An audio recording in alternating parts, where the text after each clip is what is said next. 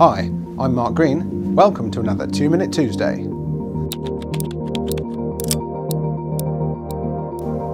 I work with a great bunch of people here at Sage Presales. Let's hear from one of our experts, Iain. Now ERP systems typically have been very good at collecting information. With Sage X3 we can gain insight from that information and gain that insight at here for example a strategic level.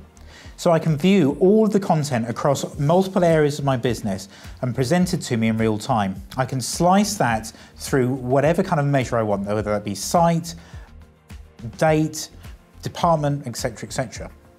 Now, not only can I have this information presented to me from a, from a strategic base, I can also understand the tactical activities for reporting.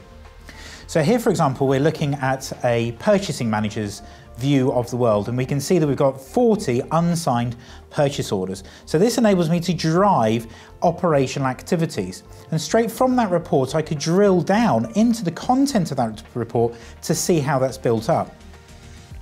Once I've then drilled down, I can then dive directly from the report into, for example, the purchase order that requires approval.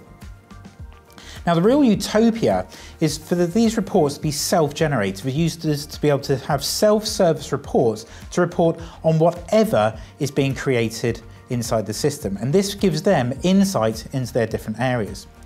So looking at the designer of the, of the reports, I wish to generate a quick report of, let's say, how busy my warehouse would be. So I'll have a bunch of rows and a bunch of aisles, and let's understand how busy we're going to be. So looking at the uh, looking at the rows, we'll first take across the uh, the rows. We'll then take across the aisles. Now, specifically, what I'm interested in are the number of picks or the number of visits anybody has gone to any one of those particular locations. So just expanding down to all of my measures, I can see that I, I can report on the quantity picked within any, any one location. But the real insight starts to be, be when I start to slice that by date. And so I can see who's picked what, when they've picked it, and what the quantity of that pick actually is. I can then very easily identify the hot days and the cold days when we were very busy or not, and that will enable me to, to plan as I see fit. So really, what, uh, what we can do is enable decision making both strategically and tactically across all different areas of the organisation. Thanks for watching another 2 Minute Tuesday.